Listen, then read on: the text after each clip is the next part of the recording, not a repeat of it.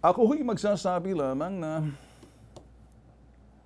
ito hong ECQ na sinasabi, ang Metro Manila ay mananatili ho sa ilalim ho ng GCQ with heightened restrictions simula ho Agosto 1 hanggang Agosto 15.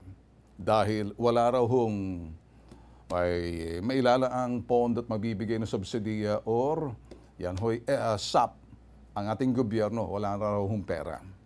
Pagtitingnan ho natin mga boss, ito ay siguro kung ako yung kung ako'y magsasalita at independente, naniniwala ako na kinakailangan ho siguro tingnan na maigi kasi uh, i-factor ho natin yung mga sa business sector, i-factor din ho natin yung mga dalubhasa, i-factor din ho natin yung mga research company, and even siguro mga doktor hindi pa nagsasalita kasi hindi ho lahat pwedeng gawin ho lamang ng IATF ho natin kasi sila ho yung mga finorm for, purposely for the, the crisis or this pandemic.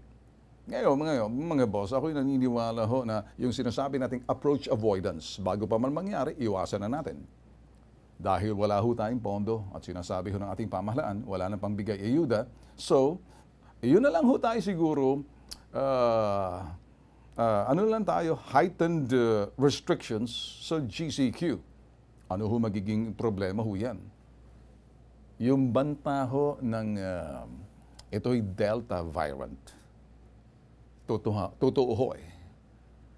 Yung takot ho dyan, dalang takot yan, totoo dahil naranasan ho ng ibang mga bansa. Ba't ho ako nagsasalita ng ganito?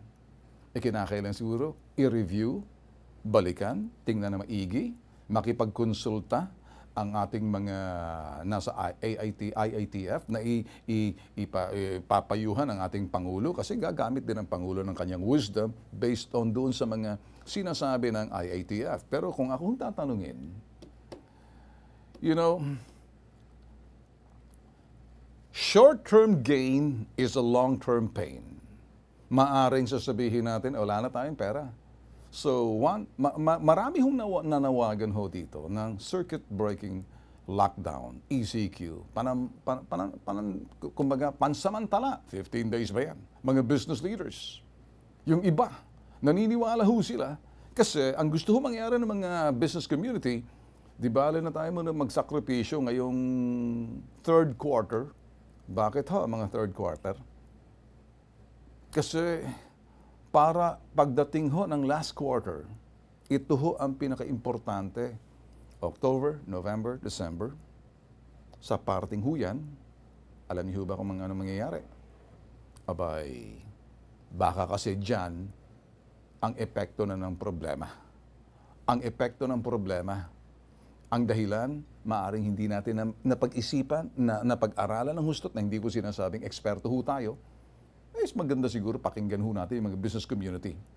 Ngayon, hindi lang ho dyan, natural, ang gobyerno wala nang pang-ayuda. Eh, siguro kahit na paano gawa ng paraan. Kasi yung two weeks na yun, critical ho, nangingiwala ho kasi sinasabi ho natin lagi at malimit kong i-introduce yung salita approach avoidance. Bago pa man mangyari, abay harapin ho natin ng buong pag-iingat para makaiwas. Hindi yung uh, ingat na lang tayo, uh, ganito ang ating gagawin, uh, uh, bantayan na lang natin, eh, pag napuno ang mga ospital, medyo, pag medyo nangyari, uh, kung ano, kung ang dating ho rito ay parang mm, na, na, na, nabuo na yung takot sa, sa, sa mga business sector natin. Kaya kung natakot sa business sector natin, ano magiging epekto niyan? Kumpiyansa ng mga mamimili. You know, yung sinasabi natin, uh, business confidence and, and, and ito ho yung consumer spending. Yung paano gagasta. Antayan ho natin sa last quarter. Kasi pagpasok ng next year, makikita ho natin nagdulot. So, ano ho yung mga maraming magawa? Eh, dapat siguro tingnan na lang siguro na maigi para matapos na ho yan mga bossing. At wala na maraming satsat. Uh, nagsasalita lang ho ako base doon sa aking analysis and pa, paniniwala ho kasi sinusundan ho natin dito kami ho sa Bitag Live, hindi ho kami basta public service lang, issues analysis. At meron ho tayong basihan sa aking mga sinasabi. Sa mga hawak ho natin mga papel, ito ho mga research ho namin to. At ito ho nagsasalita, hindi ho si Ben Tulfo. Base doon sa mga eksperto rin at marunong tumingin kung sa ekonomiya man yan, Sa governance ba yan? Sa pangangasiwa?